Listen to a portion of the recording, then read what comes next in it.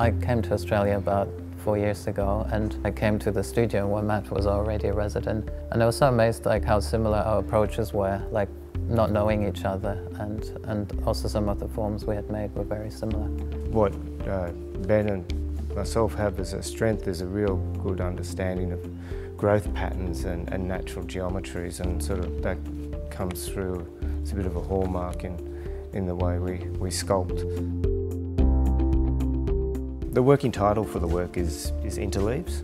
What we're trying to do with our work is pay homage to what is an iconic symbol of the Australian bush, the gum nut and the gum leaves, which are often relegated or stigmatised as low culture. But we want to reinstate their, their status as potent symbols of Australian character.